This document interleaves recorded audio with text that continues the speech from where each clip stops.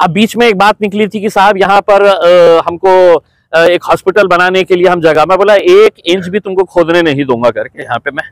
क्योंकि ये मैदान जो है ये मैदान खिलाड़ियों के लिए है ओपन ग्राउंड है और यहीं पे स्टेडियम बनाने का हमारा आ, जो कोशिश है वो बहुत आगे जा चुकी है। सवाल जो पहले है कि बड़े चेहरे जो है आ, मेरी ख्वाहिश ये है कि इस ग्राउंड से बड़े चेहरे तैयार हो करके आ, जो ऑलरेडी बड़े हो चुके हैं उन्हें यहाँ पर लेकर आने की बजाय मैं चाहता हूँ कि बुडी लाइन के इस आम खास मैदान से अच्छे अच्छे क्रिकेटर्स तैयार हो अच्छे अच्छे फुटबॉल तैयार तैयार हो। और हमें सबको ये फख्र होना चाहिए कि हमारे इस ग्राउंड के ऊपर खेला हुआ लड़का आज है तो स्टेट की टीम में खेल रहा है आज दे, देश की टीम के लिए जिस तरह हमने लास्ट सीज़न में एक थीम चलाया था नशा मुक्त औरंगाबाद। तो उस नशा मुक्त औरंगाबाद का एक साल का अरसा गुजर गया है हम कहाँ तक उसमें सक्सेस हुए? देखिए, कुछ हद तक तो हुआ है। देखिए, जब आप इस तरह के इवेंट लेते हैं तो प्रशासन के ऊपर, पुलिस के ऊपर भी एक दबाव बनता है।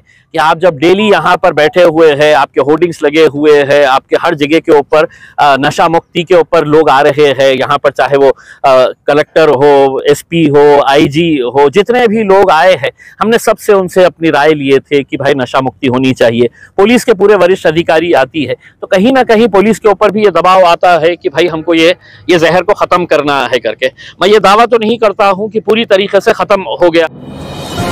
देश से लेकर शहर तक हर पल की खबर, शहर का सबसे तेज न्यूज़ नेटवर्क औरंगाबाद तक।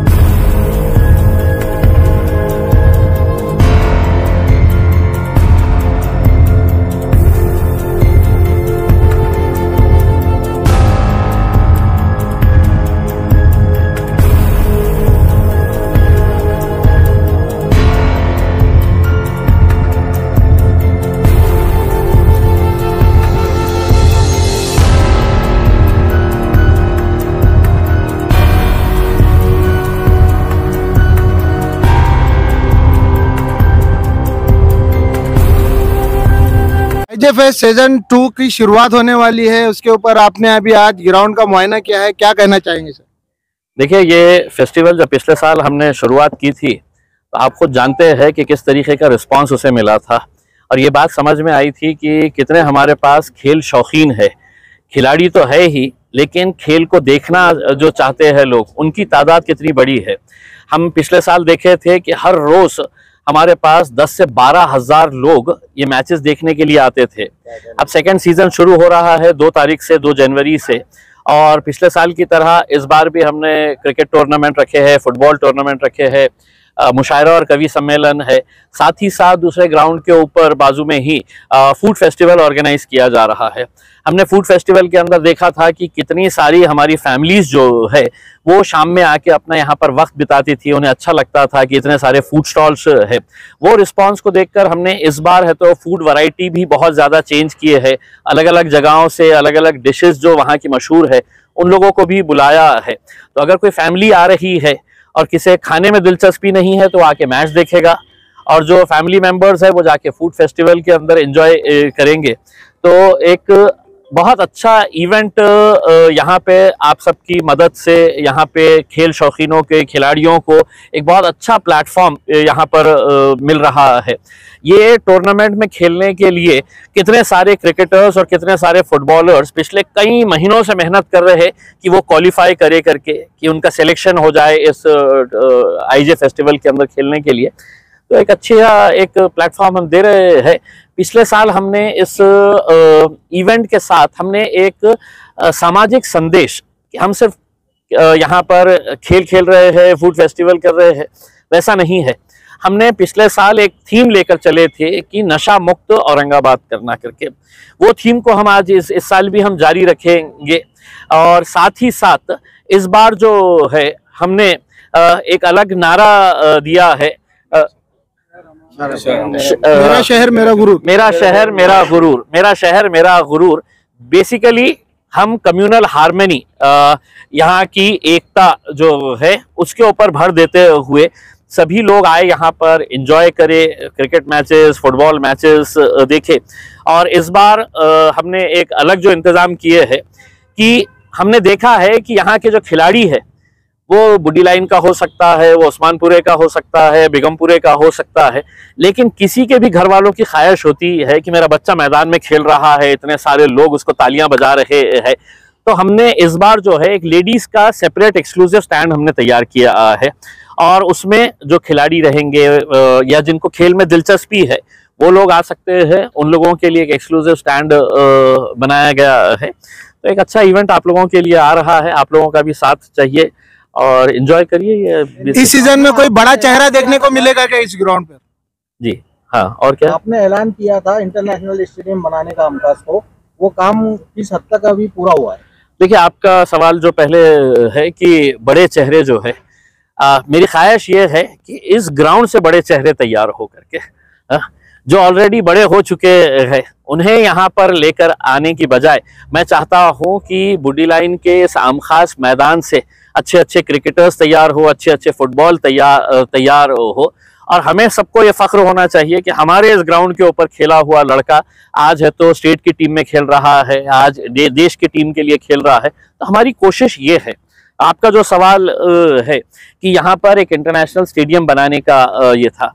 देखिए मैंने पहले से ही ये वादा किया था कि हम यहाँ पर एक अंतर्राष्ट्रीय दर्जे का है तो हम एक स्टेडियम बनाना चाहते हैं। उस और हमने बहुत आगे अल्हम्दुलिल्लाह बढ़ चुके हैं। दिक्कत ये आई है इसके अंदर कि जब ये मैदान के पेपर्स देखा गया तो इसके ऊपर बहुत सारे गवर्नमेंट डिपार्टमेंट्स ने दावा ठोक दिया। कोई कहता है हमारा है कोई कहता है ये हमारा है करके और इन्होंने आ, कोई गलत तरीके से अपने पेपर्स वेपर्स देख के सिटी सर्वे ऑफ़िस के अंदर इन्होंने पूरों ने अपना नाम चढ़ा लिए है। अब बीच में एक बात निकली थी कि साहब यहाँ पर आ, हमको एक हॉस्पिटल बनाने के लिए हम जगह, मैं बोला, एक इंच भी तुमको खोदने नहीं दूँगा करके यहाँ पे मैं। क्योंकि ये मैदान जो है, ये मैदान खिलाड़ियों के लिए है, ओपन ग्राउंड है और यहीं पे स्टेडियम बनाने का हमारा जो कोशिश है, वो बहुत आगे जा चुकी है। अभी बीच में कलेक्टर साहब के पास मीटिंग हुई थी, माइनॉरिटी सेक्रेटरी मुंबई से ज्वाइन किए हुए थे और हमारे जो माइनॉरिटी मिनिस्टर है अब्दुल सत्तार साहब उन्होंने ये मीटिंग को कन्वीन किए थे। उस मीटिंग के अंदर बड़े डिटेल के अंदर चर्चा हुई थी कि क्या करना चाहिए। तो सबसे रिपोर्ट मांगी गई थी। वो रिपोर्ट अब मुंबई को भेजी गई है। अब गवर्नमेंट लेवल के ऊपर इसका डिस्कशन होना है। मैंने दो दिन पहले ही सत्तार साहब से इस बारे में बात किया था। आ, उनका ये कहना है कि ये फेस्टिवल जैसे ही ख़त्म होता है तो उसके फ़ौरन बाद हम हज हाउस का भी इनाग्रेशन करेंगे। और इसी मैदान के ऊपर यहाँ पर मुख्यमंत्री को लाकर इस स्टेडियम की भी घोषणा करने की हमारी कोशिश चल रही है। मैंने गवर्नमेंट को यही कहा है कि साहब, आपको है तो सिर्फ़ हमको पेपर्स देने का है। इसके लिए कितना करोड़ों रुपए का फंड लगेगा, वो करोड़ों रुपए का फंड लाने की ज़िम्मेदारी मैंने लिया हूँ। केंद्र सरकार से अनुराग ठाकुर जो मिनिस्टर है, मैंने उनसे कहा है कि साहब, ये इसके लिए आपको हमारी मदद करना है। उन्होंने मुझे अश्योर किया है। पेपर्स एक मरतबा क्लियर होने के बाद दिक्कतें थी अगर पहले ही अगर मतलब कई साल पहले अगर इसकी कोशिश अगर शुरू हो जाती थी तो मेरे हिसाब से आज इतनी दिक्कतें नहीं आती थी। पेपर क्लियर होते ही हम ये जिस तरह हमने लास्ट सीज़न में एक थीम चलाया था नशा मुक्त औरंगाबाद। तो उस नशा मुक्त औरंगाबाद का एक साल का अरसा गुजर गया है हम कहाँ तक उसमें सक्सेस हुए? देखिए कुछ हद तक तो हुआ है। देखिए जब आप इस तरह के इवेंट लेते हैं तो प्रशासन के ऊपर पुलिस के ऊपर भी एक दबाव बनता है। कि आप जब डेली यहाँ पर बैठे हुए हैं आपके होर्डिंग्स लगे हुए हैं आपके हर जगह के ऊपर नशा मुक्ति के ऊपर लोग आ रहे हैं यहाँ पर चाहे वो आ, कलेक्टर हो एसपी हो आईजी हो जितने भी लोग आए हैं हमने सबसे उनसे अपनी राय लिए थे कि भाई नशा मुक्ति होनी चाहिए। पुलिस के पूरे वरिष्ठ अधिकारी आती है तो कहीं ना कहीं पुलिस के ऊपर भी ये दबाव आता है कि भाई हमको ये ये जहर को ख़त्म करना है करके। मैं ये दावा तो नहीं करता हूँ कि पूरी तरीके से ख़त्म हो गया है करके उसमें। और वो ख़त्म होना भी मुश्किल है, क्योंकि जब तक है तो समाज जागरूक नहीं होगा, जब तक है तो अपने इलाके के नौजवान लड़के बेदार नहीं होंगे कि साहब, इस घर के अंदर, इस गली के अंदर यहाँ पे नशे का कारोबार हो रहा है, इसको बंद कराना चाहिए। तो अपने अपने लेवल के ऊपर हर एक की ये कोशिश रहनी चाहिए। आगे और भी इसके ऊपर मेहनत करने की ज़रूरत है और यकीनन हम सब आप लोगों का साथ रहा तो बिल्कुल हंड्रेड परसेंट करेंगे। साहब को भी इनवाइट करने वाले कि इससे पहले दान में आकर गए थे आप। देखिए, मैंने स्पोर्ट्स के ताल्लुक से हमेशा ये कहा है कि मतलब इलेक्शन के वक्त इलेक्शन राजनीतिक पार्टियों का मतभेद जो है वो इलेक्शन के वक्त होना चाहिए। ये तो खिलाड़ी है और यहाँ पर लोग खेलने के लिए आते हैं तो मैंने कभी भी मतलब इसको पॉलिटिकल इवेंट नहीं बताया है कि भाई इसके अंदर हम हमारा राजनीतिक, हमारे पार्टी की तरफ़ से कर रहे हैं। ऐसा नहीं है। मेरी भी ख्वाहिश है कि तमाम राजनीतिक पार्टियों के, पिछले साल है तो सीएम साहब का लड़का जो एमपी है, श्रीकांत शिंदे वो यहाँ पर आकर गए थे।